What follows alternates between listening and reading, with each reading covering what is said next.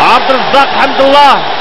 عبد الرزاق حمد الله كيتمكن انه يستغل خطأ آه، فادح على مستوى الدفاع ديال منتخب افريقيا الوسطى انه يسجل الهدف الثاني لفائدة المنتخب الوطني المغربي والهدف الثاني الشخصي ديال آه، حمد الله.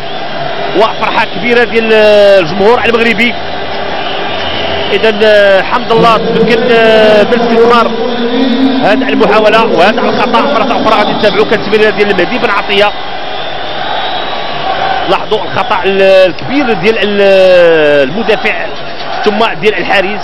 واللي استثمروا بشكل جيد عبد الرزاق حمد الله. لاحظوا هذو ماء الدفين لاحظوا الكرة كيوضعها في الشباك. وهدف ثاني لفائدة الخبر الوطني المغربي جوج صفر